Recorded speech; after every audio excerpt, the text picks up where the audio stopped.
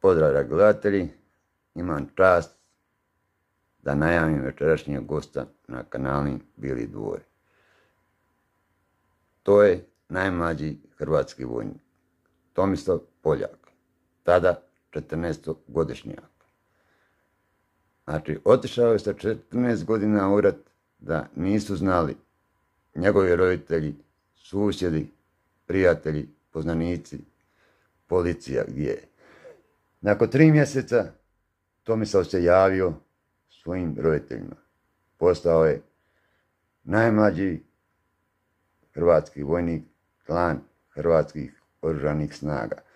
Da ne dužim puno, um, pošto će Tomislav to nam sve večeras ispričati, nažalost samo ću reći, danas za Tomislava niko ne mari. Tomislav uopće nije nigdje zaveden da je bio u Hrvatskoj vojski. I koga briga gdje je Tomislav?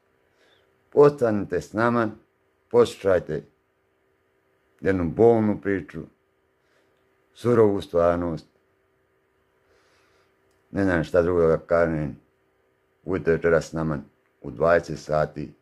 Gosnane ponavljam, najmlađi hrvatski vojnik, tada 14-godišnji Tomislav Poljak, koji danas ne postoji da je bio u Hrvatskoj vojski. A ranjen je prvi put 92.